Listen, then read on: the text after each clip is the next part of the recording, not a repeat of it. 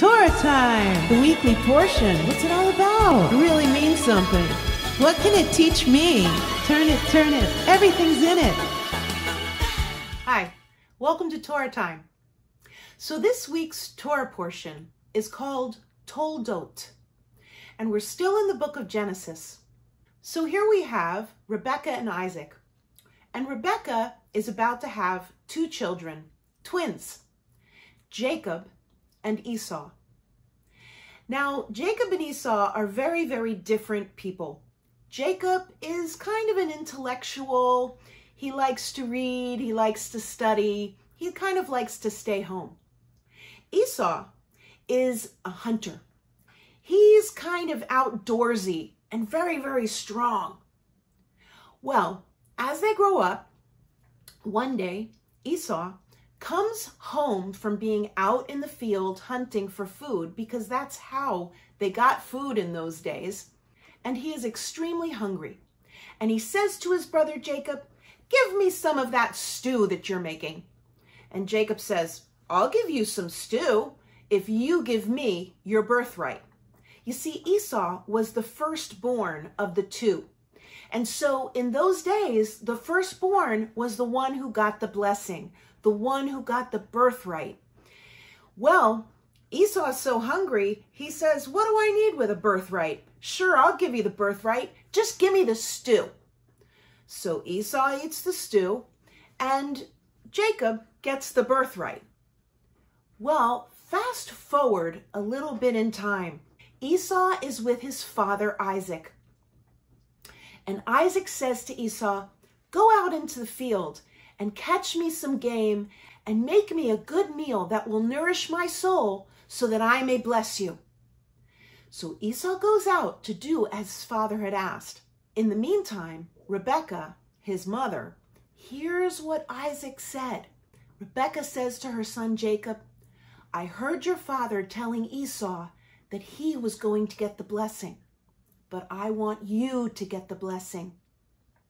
Well, they connived a plan and they covered Jacob with fur because Esau was hairier than Jacob. And they were afraid that if Jacob went close to Isaac, Isaac would know Jacob was fooling him. Well, Jacob goes in and Isaac says, Who is there? And Jacob says, Esau, your son. Well, what happened is Isaac ultimately gave the birthright blessing to his son Jacob, the second born, instead of Esau, because Rebekah and Jacob planned trickery against Isaac. This is a very troubling story. You know, you may not have done this in your life, but maybe you know someone who has kind of planned something that isn't really right but they go ahead and they do it anyway. Maybe you know somebody who's done something like this.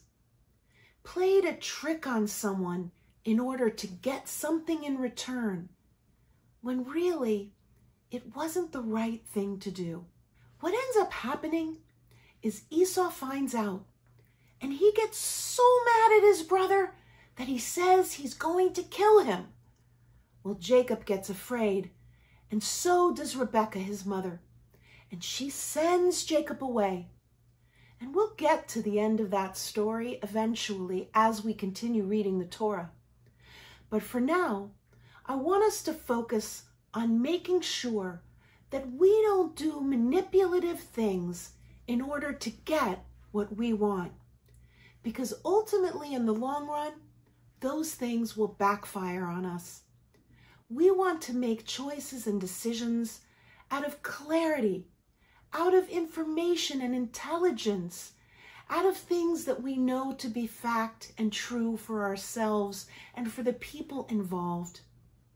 We don't want to make decisions that are ultimately going to be deceiving to others or lead to a life where we have to hide things that we have done because we know them not to be true. This is a wonderful lesson that we learn from Rebekah and Isaac and their children, Jacob and Esau.